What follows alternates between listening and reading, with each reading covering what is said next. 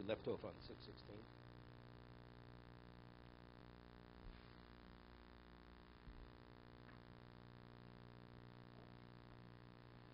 We spoke about that uh, uh, a key component in tshuva is charota, remorse. You regret what you did. To the degree that you regret that what you did, that's an indication of the, he says, the shameful, the shamefulness of the action. You regret that you did it, mi yodei yoshu, v'nichom v'yishur achrav brocho.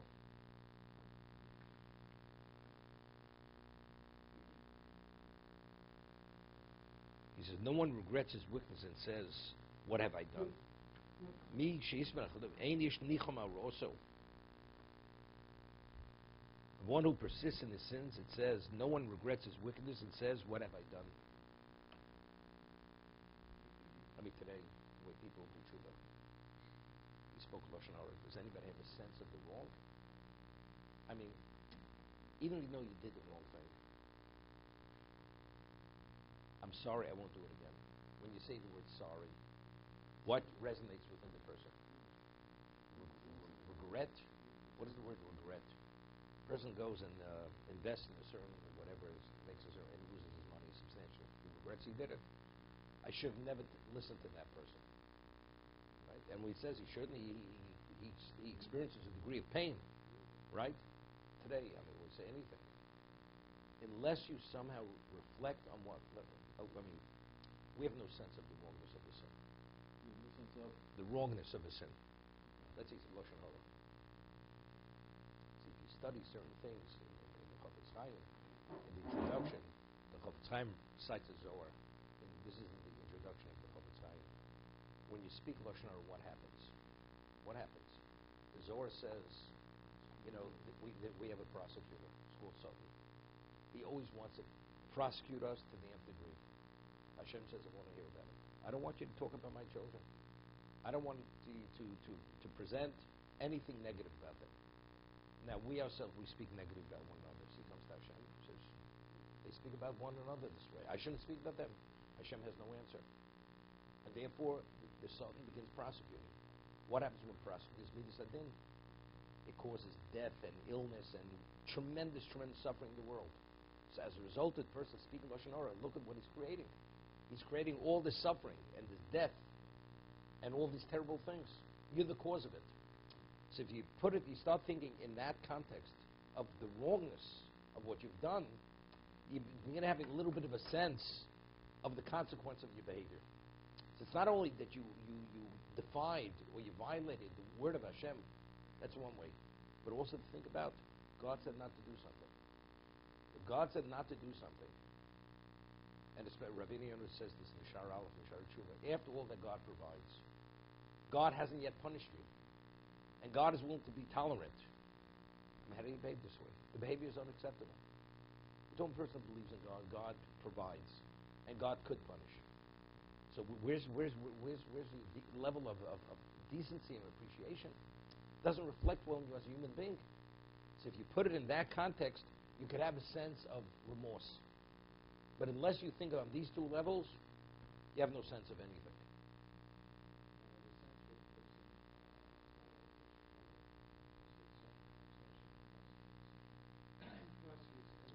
The Zohar, no, the whole world, the whole world, the whole world, the whole world. Sudden, everybody has, everybody has a negative rep. We're talking about where it's pretty prevalent. Well, that's one person. People are, are careless in terms of their, their speech. The Zohar refers to this this Hanochash Hagodol, the first, the original snake of the Garden of Eden. Refer, that's what the Zohar refers to as this Hanochash Hagodol. And it says it releases a force called Sachsucha, is the Zohar. And it's, it's and it comes with equivalent of a sword, brings level of suffering and devastation to the world which is not to be believed.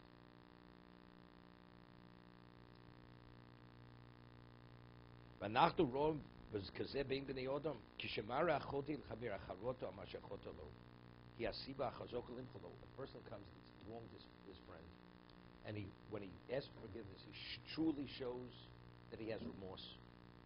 The person who was offended or affected negatively, he'll more readily forgive him because he truly sees his level of remorse. But a person comes flippantly says, you know, I did wrong, forgive me. And he doesn't show any degree of remorse. Is he going to forgive him? It's less likely he's going to forgive him. Right? You go and you plead your case before the judge, and they're about to sentence you, and you ask for mercy. If the the criminal shows that he's totally not remorseful, the judge doesn't give him the full sentence. He shows some degree of remorse, maybe the judge will have, have, have, have mercy on him. It's always. So the degree of showing your remorse, of feeling the pain, and appreciating the wrong, that will determine whether you'll be forgiven or not. The what? So that's why. So that's the reason why you have to come on to various ways to appreciate that you did the wrong thing, even though we don't have a grasp of the essence of the sin. We don't. But just on a regular, this Rabbi Yonah says, God provides. God is this. That, that much we understand. How do you go against His word? Right? The person does so much for you. How do you go and and betray him? It's a betrayal. That's what it is. Or from the other side of the picture, when someone said, "Boy, if forgive everyone," yeah, are you saying that I forgive everyone sincerely it's not. It's not that simple. It's not that simple. Right, but that's what we said. No, no, no, no, no, no, no, no, no. Here we're saying you're right. You're right. I told you the still It's told the story. Reb Elya Lopian. Rebelli Lapian was a very holy man. Passed away at the age of 95. Passed away in 1964. Originally, he lived in London for many, many, many years, for about 35 years. When he retired at the age of 70, he went to Eretz Yisrael, 70, early 70s, and he was offered the position to be the mashgiach in Kfar Hasidim. That's near, not near Haifa. This is in the early 50s, and um, he accepted the position. He was a mashgiach. He was a very holy man. Very, when I say holy, when he was in his 20s, he married a Giloi Elio. Elionov became famous. They had a very close relationship with the Chofetz Chaim. There's a story with the Chofetz Chaim where he came into the Chofetz Chaim. I once mentioned the story here. And somebody was coming out of the Chofetz Chaim. And when he first came out of the Chofetz Chaim's house, he had a presence which he never sensed such a presence of a person. Like amazed. So he comes into the Chofetz Chaim, Reb Elya Lopian, he says the Chofetz Chaim, he says, I just met a person coming out of, the- out of the Rebbe's house. I never met, I've never seen such a person. He had a presence, he exuded holiness, something which is overwhelming. He says, who was he? So Chofetz Chaim didn't respond, he, just, he says, did you say shalom to him? He says, yes. Did he respond? He says, yes. He says, very good. Just left it at that. So Rebelli, Lopian said afterwards, there's no question in his mind, it was Eliyahu Navi. But later, a few years later, himself had an experience with He had Gili Eliyahu. How did he know? He didn't know it was, Eliyahu. The Sfas Emes. Everybody calls it Sfas Emes. All the, all the rabbis. Sfas Emes is one of the most difficult commentaries to learn on Chumash because it's semi-Kabbalistic. So the Sfas Emes was the head of the Gerrer Hasidim. He was in Warsaw.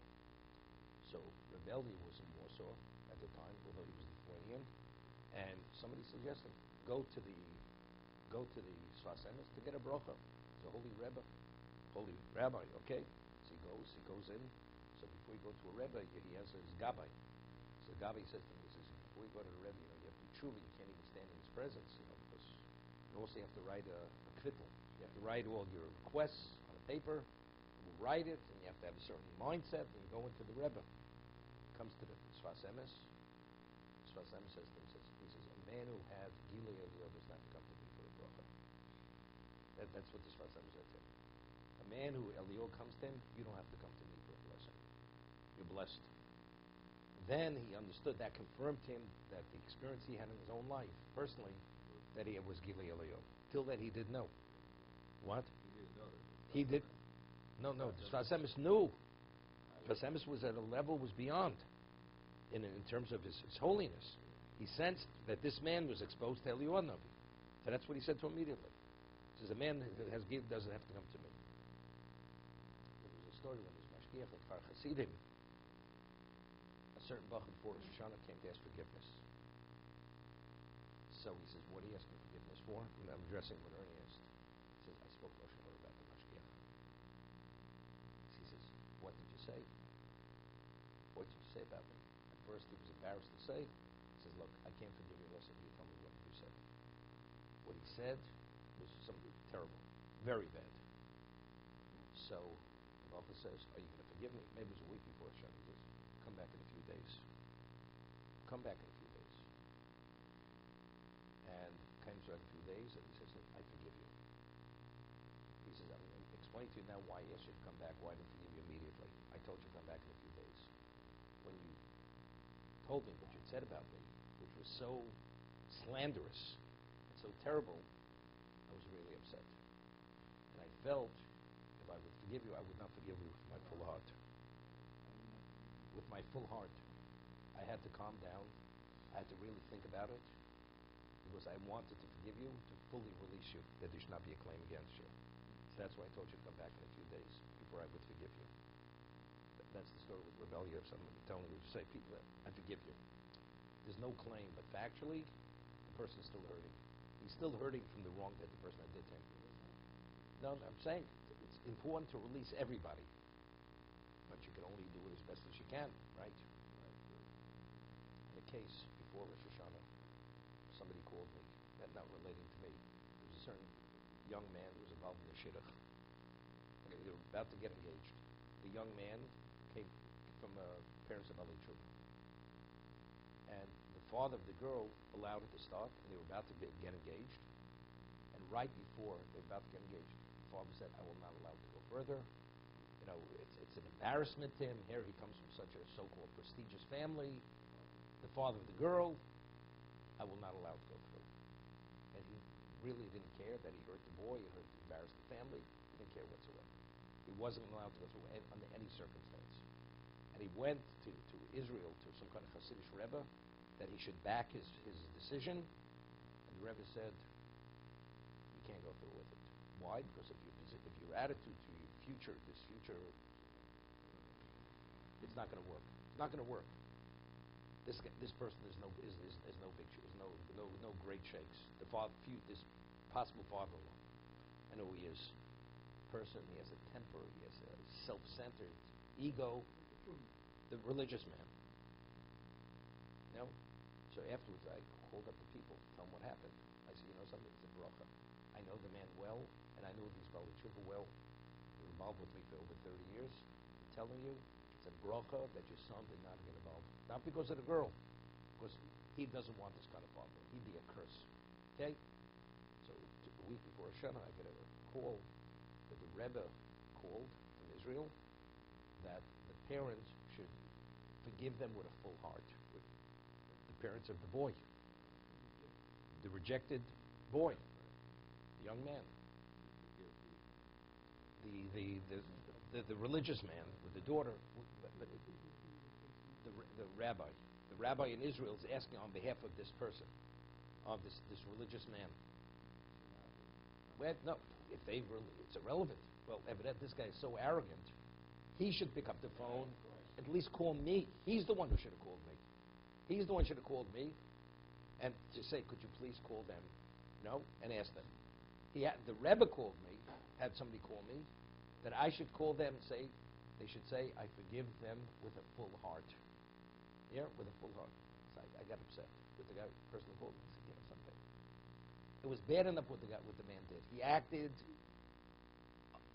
arrogantly, pompously, couldn't care for the feelings of anybody but himself. Couldn't even care. His daughter was devastated. His daughter did not speak to the father for, for, for two months after this happened. She was so upset with the father because his behavior is unacceptable. See, now you're calling, have somebody else call me to ask forgiveness for you. You should call yourself. Call the people yourself. But if figure it's before Rosh Hashanah. You know, it's in the best interest that they should forgive him, so Hashem should have a claim against them. Just let the man go. It's a bracha. So I called him up. I said, do me a favor. Say you forgive them with a full heart. Because I'm telling you, it's a blessing that you don't have anything with this man. And they both said, we forgive him with a full heart. That's the story. It doesn't make a difference. I, see, it's, it's like two things going playing simultaneously. They recognize it was a bracha, but simultaneously they're, they're hurting because the son is still hurting from it. The son still didn't get over th- this. It was almost like a broken engagement. Almost that. Almost as bad as that. Being rejected for what? For nonsense. Because of your gaiva.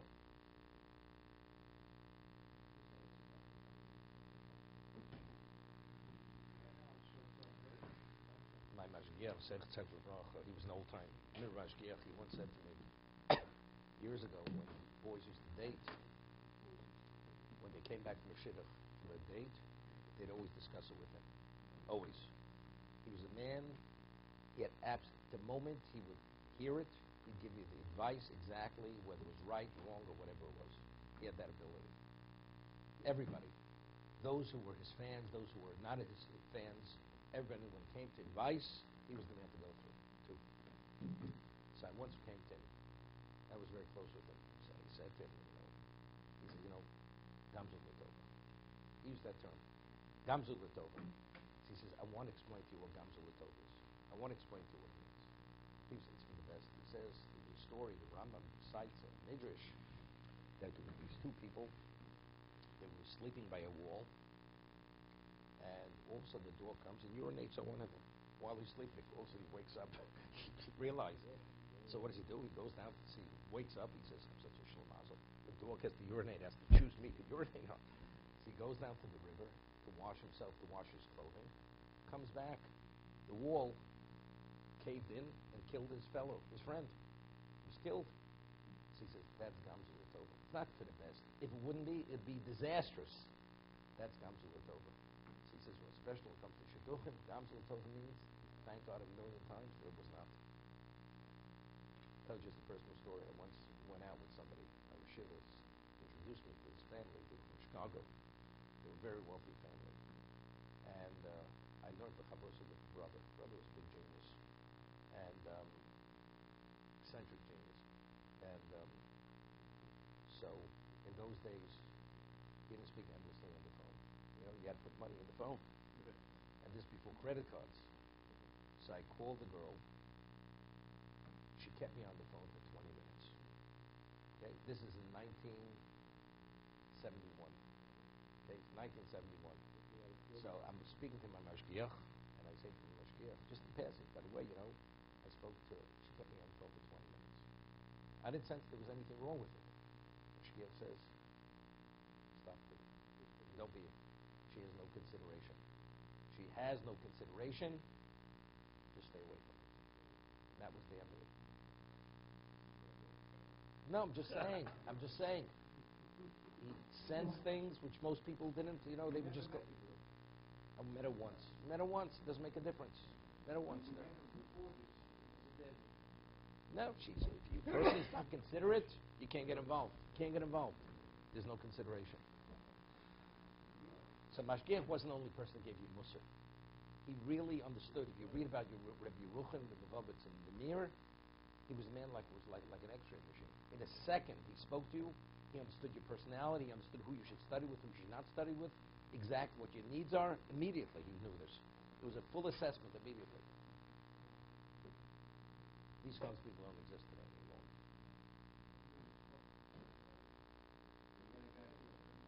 What?